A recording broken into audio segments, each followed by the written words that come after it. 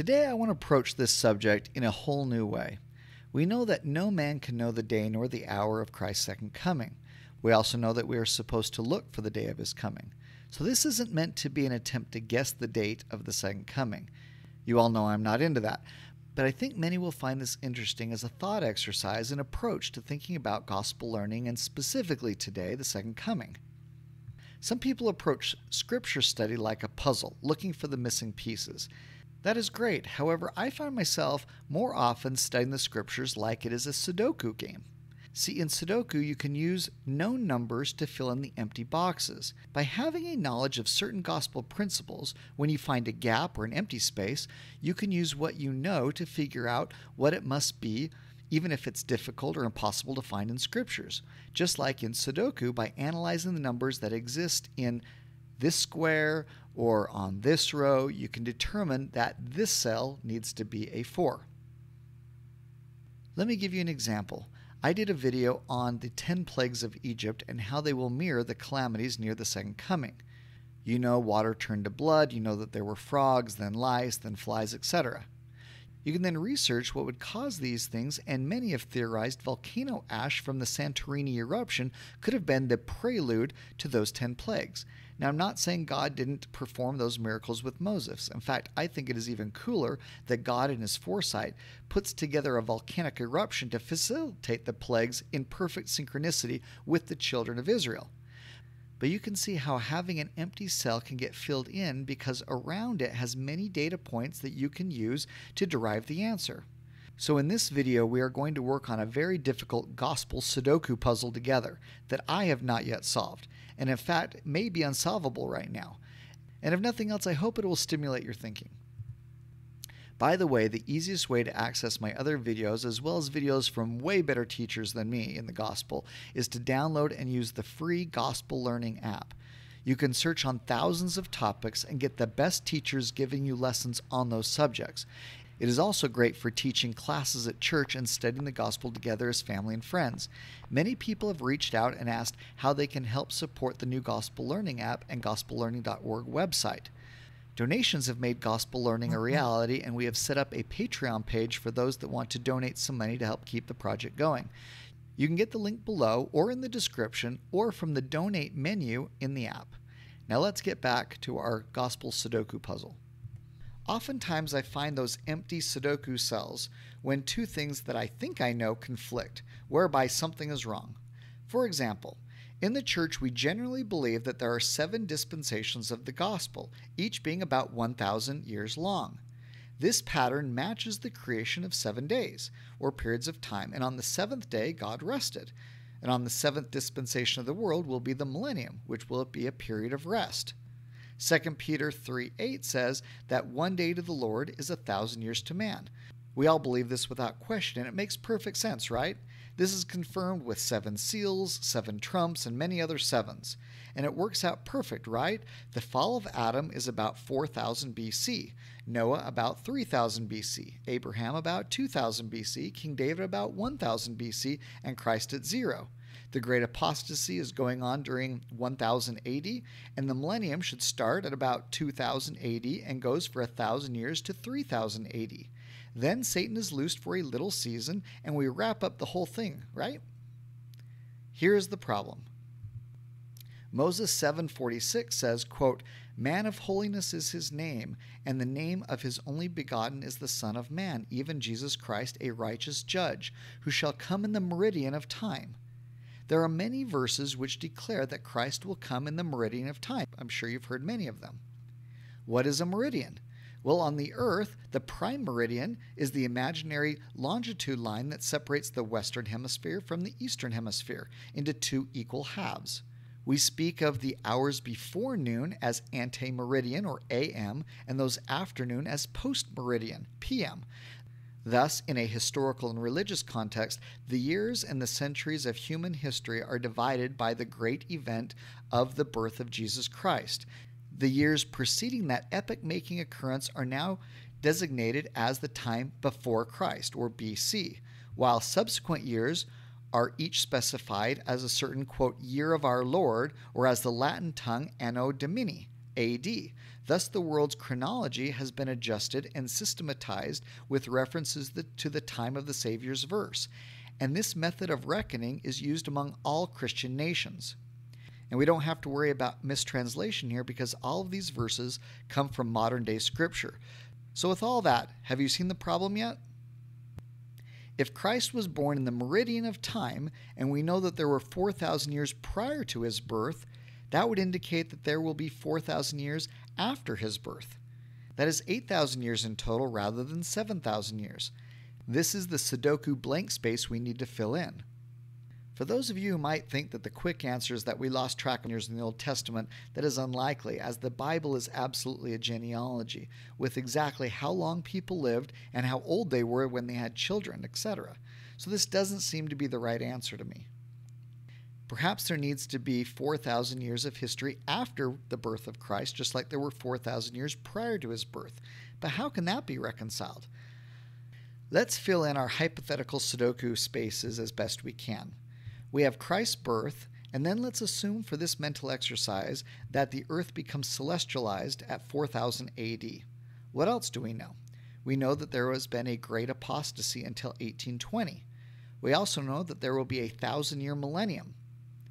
We know that we are currently in the dispensation of the fullness of times, which has gone from 1820 until today.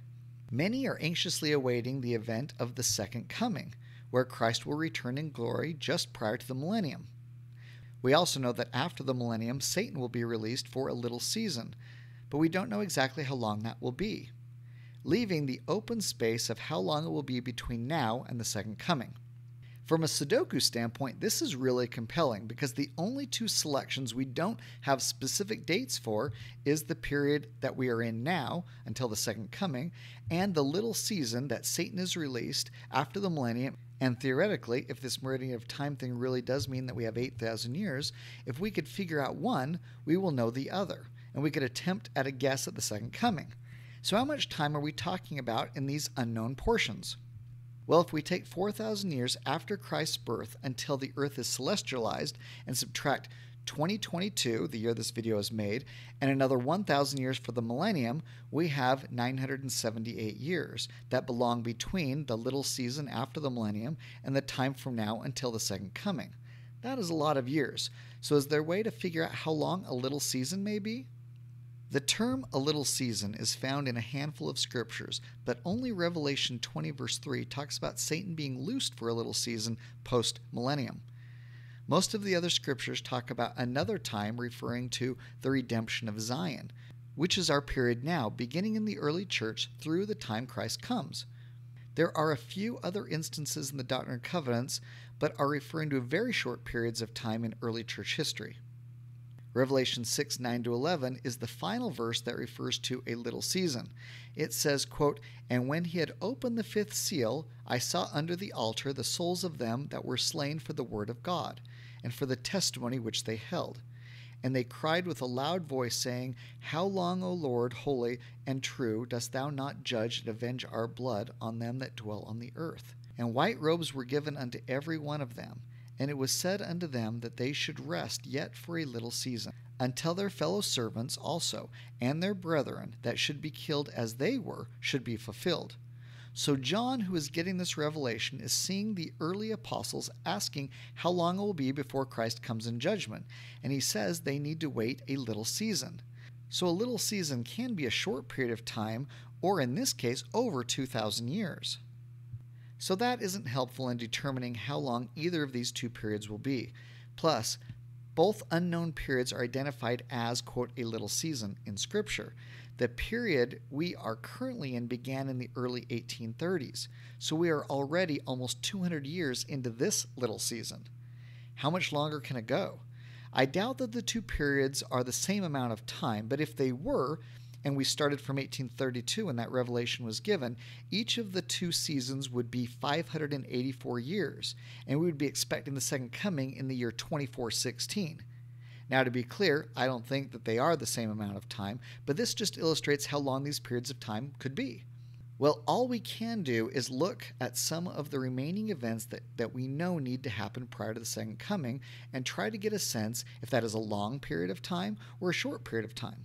In my experience, some people try to guess the exact date or the year the second coming will happen, almost like it's fantasy football. But even those that don't, in my experience, seem to have a sense as to whether they feel the second coming is close or whether the second coming is a long way off. It is also interesting that no matter what evidence you show one way or the other, people get entrenched in their belief. And if they think the second coming is very soon, there is nothing you can do to sway them. But whether you are one that believes that the second coming is near or far, we should be able to agree on a list of events that Scripture tells us must happen prior. Here is a list of some of the events that I believe must occur before the second coming. This is not an exhaustive list, as I did these off the top of my head, and I excluded milestone events such as Christ's various appearances prior to him coming in glory. I'm trying to list events that will take some time, and yes, I realize that some of these can happen at the same time. Most of these we don't have any idea how long they will be, but many of these are not measured in days, weeks, or even months. Based on your preconceived notions about the length of time until the second coming, I don't know if this makes you feel it's longer or shorter than previously thought. Also, remember that even if there are only 7,000 years rather than 8,000 years, and the Lord's use of the word meridian is arbitrary, which seems to never be for him, all of the things on this list and many more still need to happen prior to the Lord's second coming in glory.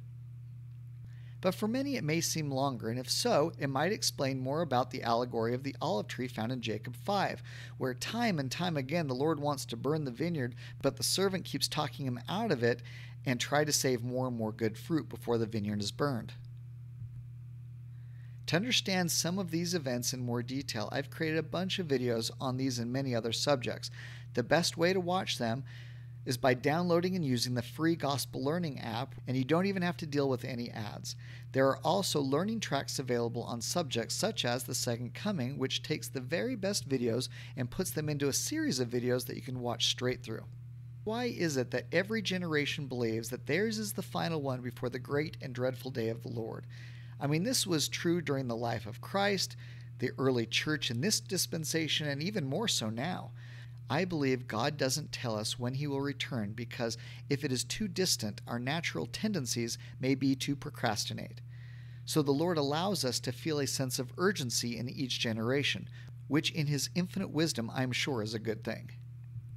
I hear some people say such things as it can happen really quick because we can just throw up a tent and dedicate it as a temple, or that prophecy probably doesn't mean that the temple has to be in that exact spot, or maybe the silence in the heavens for 30 minutes really is just 30 minutes.